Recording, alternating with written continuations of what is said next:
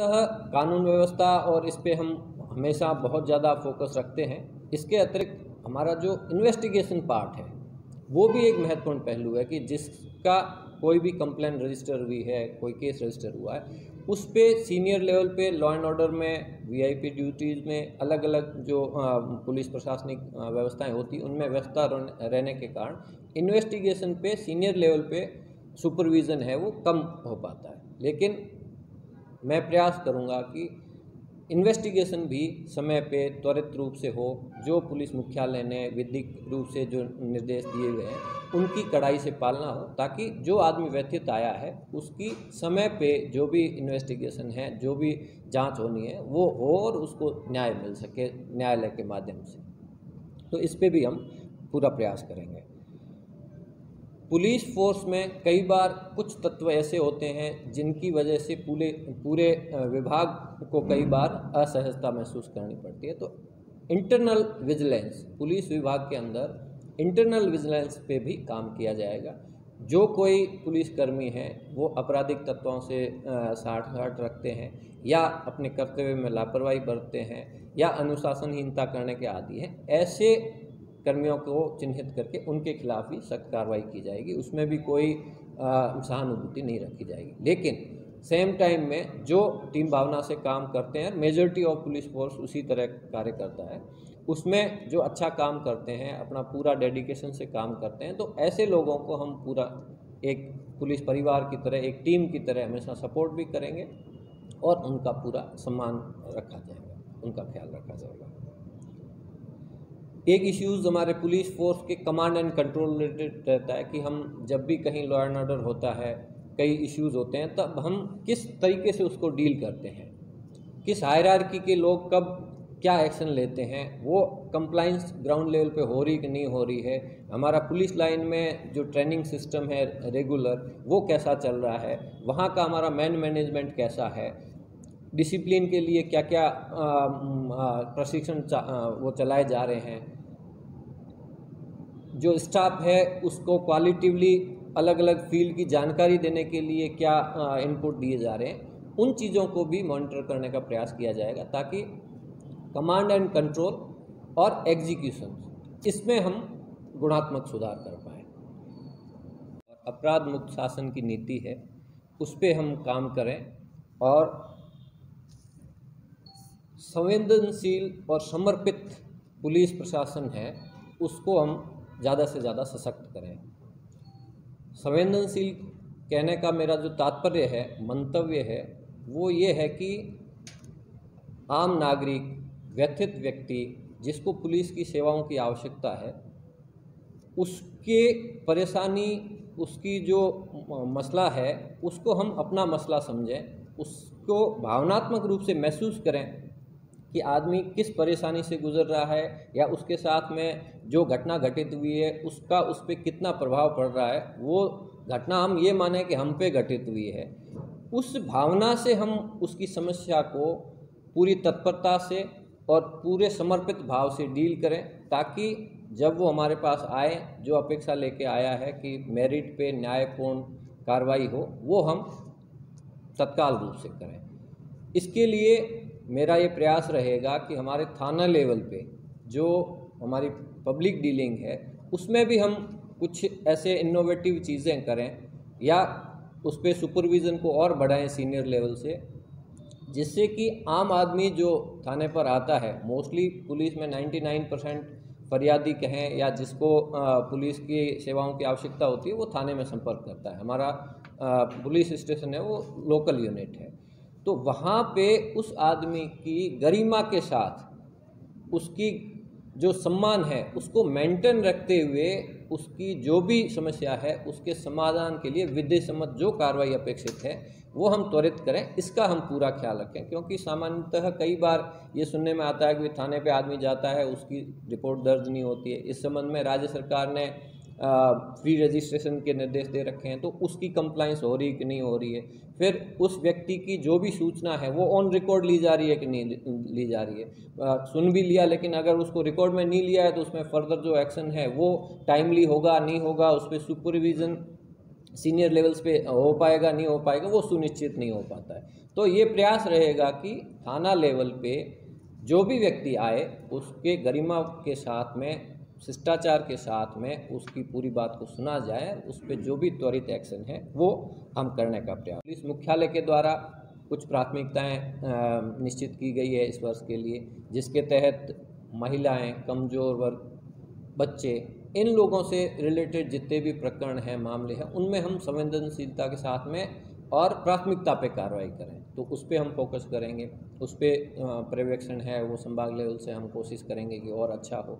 इसके अतिरिक्त प्राथमिकताओं में हार्ड कोर पेशेवर जो अपराधी है जिनकी वजह से आम जन में भय महसूस होता है असुरक्षित महसूस करते हैं ऐसे लोगों को जो चिन्हित हुए हैं और जो चिन्हित नहीं हुए उनको भी चिन्हित करने का प्रयास किया जाएगा उनके खिलाफ भी सख्त कार्रवाई की जाएगी। इसके अतिरिक्त पुलिस मुख्यालय द्वारा जो अलग अलग छोटे कस्बे हैं बड़े कस्बों में भी हम प्रयास करते रहते हैं और वहाँ जन जागरूकता के बेस पे समाधान भी होते हैं। कई छोटे कस्बे हैं, वहाँ पे ट्रैफ़िक रिलेटेड समस्याएँ बहुत रहती है, वहाँ पे हमारा फोकस नहीं रहता है। लेकिन पुलिस मुख्यालय द्वारा जो इस साल की प्राथमिकता है, उसमें उसको भी एक प्राथमिकता के रूप में चिन्हित किया गया है कि सब डिवीज़न लेवल के बड़े कस्बे जहाँ ट्रैफ़िक रिलेटेड समस्याएँ ज़्यादा रहती है, उनको भी हम फोकस रख के उस पर हम जितने उपलब्ध संसाधन हैं, उनका सही सदुपयोग करके हम व्यवस्था सुनिश्चित करें ताकि आम जन को वहाँ कोई कठिनाई नहीं हो।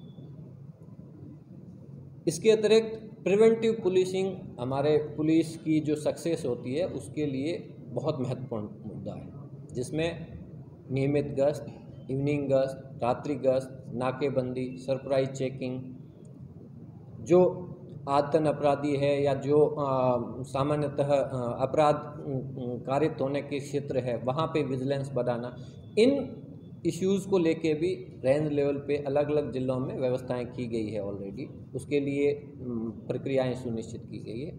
उनकी भी एक, संभाग स्तर पे समीक्षा की जाएगी। सारे एस हैं, उनसे चर्चा करके और हम कोशिश करेंगे कि उसमें भी जहाँ भी गुणात्मक सुधार की आवश्यकता है, उसको भी हम और स्ट्रेंथन करने का प्रयास करेंगे।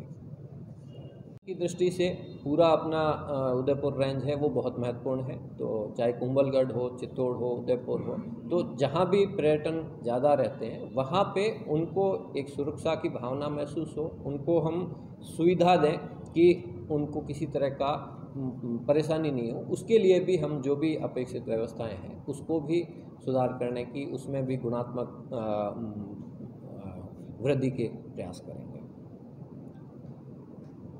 हमारा पूरा प्रयास यही है कि हम कोविड टाइम में जो पुलिस ने जिस तरह से काम किया है, लोगों में उसके पुलिस के प्रति बहुत विश्वास बढ़ा है और ये सम्मान बढ़ा है कि भी पुलिस है वो आम जन के लिए समर्पित भाव से कार्य करती है। हम उसको और मज़बूत करने का प्रयास करेंगे। हमारे पुलिस फोर्स के व्यवहार से, पुलिस के एग्जीक्यूशन से शांति व्यवस्था कायम करके आपराधिक तत्व है, उनके खिलाफ सख्त कार्रवाई करके, ताकि पूरे संभाग में हम भय मुक्त अपराध मुक्त पुलिस प्रशासन दे सकें। धन्यवाद।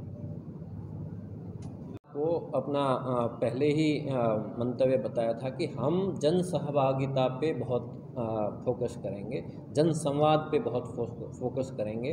तो मेरी कोशिश ये रहेगी कि आदिवासी जो बाहुल्य क्षेत्र है, वहाँ पे हम उन्हीं के लोगों से जाके बात करेंगे। उनके बीच में हम जाएँगे, उनके गाँव में जाएँगे, उनकी पंचायतें होती हैं, उनमें जाएँगे, उनके सामाजिक सम्मेलन होते हैं, उनमें जाएँगे और हम उनसे ही बात करके उन्हीं के माध्यम से, उन्हीं के नेतृत्व में हम सहयोग में रहेंगे।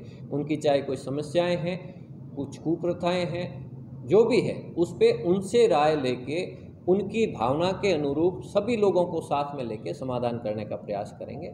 और जो आदिवासी बाहुल क्षेत्र है, वहाँ पे विभिन्न सरकारी एजेंसियाँ हैं, उनके जो कार्य है, उनके संबंध में भी संभागीय आयुक्त महोदय है स्थानीय जिला कलेक्टर है, उनसे हम कोऑर्डिनेशन रख के और उस पार्ट में भी जो भी हमारे पास फीडबैक आएगा, हम उनसे शेयर करेंगे और पुलिस और प्रशासन दोनों मिलके आदिवासी क्षेत्र रिलेटेड जितनी भी समस्याएँ हैं, वहाँ के विकास के लिए जो फंड आ रहे हैं, उनका सही यूटिलाइजेशन है। इन पे भी हम प्रशासन के साथ में टीम की तरह रह के और जहाँ भी हमारा सहयोग प्रशासन को चाहिएगा, हम साथ में रह के ऐसी समस्याओं का भी समाधान करेंगे जी। इसके अतिरिक्त हमारा जो पूरा संभाग है, वो अलग अलग दृष्टि से, कानून व्यवस्था की दृष्टि से संवेदनशील है, पर्यटन की दृष्टि से बहुत ही महत्वपूर्ण है। तो इन परिस्थितियों को ध्यान में रखते हुए क्षेत्र वाइज जहाँ जिस तरह की समस्या है उसमें हम जन सह सहभागिता को बढ़ाएँ। जनता से हम संवाद करने का प्रयास करेंगे और मेरी कोशिश रहेगी और जल्दी ही हम इस तरह का एक फॉर्मल प्रक्रिया शुरू करेंगे एक अभियान सा शुरू करेंगे कि जिसमें न केवल मेरे स्तर पे जिला स्तर से आ, सर्कल स्तर से लोग सीएलजी हमारा सिस्टम चल रहा है, बहुत अच्छा चल रहा है, उसमें भी हम प्रयास करते हैं लोगों से संवाद करने की, लेकिन वो सीमित, उससे कई स्टेक होल्डर्स है, कई लोग हैं, वो अपना मंतव्य, अपने सुझाव, अपनी समस्याओं को वहाँ नहीं बता पाते हैं, क्योंकि वो उसमें लिमिटेड पार्टिसिपेशन है। हमारा प्रयास रहेगा कि हम ओपन सभी जो, जिस क्षेत्र में हम जाएँ, वहाँ के सब तरह के लोग, सब वर्गों के लोग, व्यापार वर्ग है, किसान वर्ग है, मजदूर वर्ग है टैक्सी यूनियन है, जो भी है, सब लोगों को हम बुलाएँ, उसमें जो भी आ पाएँ उनसे हम संवाद करें। उनकी क्या समस्याएँ हैं पुलिस प्रशासन को लेके?